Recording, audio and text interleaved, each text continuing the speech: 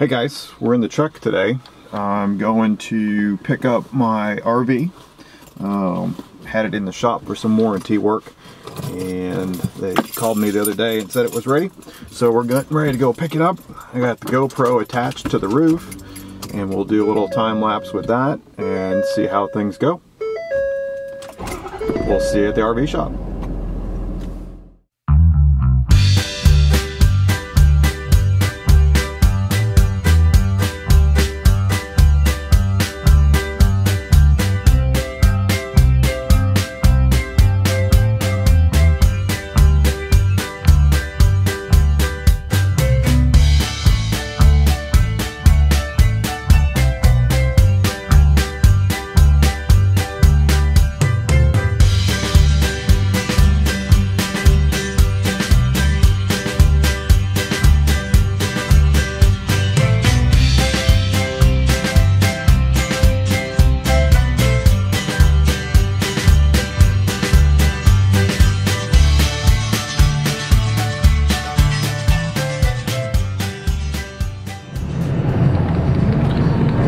Well, we just got off the freeway. We get ready to pull into the RV shop here and see how good a job they did.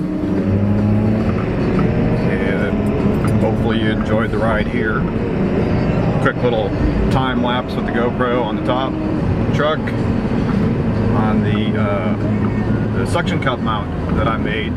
You can watch the other video on my channel here and I'll put a link to it right up there if I can figure out how to do it It'll be the first time I put a link in, in uh, a video. So I will try and get that done. And if you, you don't see it there, look there. It'll be down below. Keep watching and we'll show you some more interesting stuff on the way home. Well, here I am, headed home. No RV. They didn't check everything they were supposed to, so that's what happens. Uh, the third, fourth time the RV has been in the shop for warranty work since we bought it. Um, and my warranty runs out next month. So I didn't even want to didn't even want to take it and try it. So they can keep it and figure it out. So I guess that's where we stand today. Unfortunately, no uh, no camping style video, but uh, just a regular video.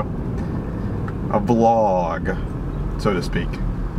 Alright, well, I guess I'm going to uh, end it here because that's about all there is to show you. Subscribe. We'll see you next time.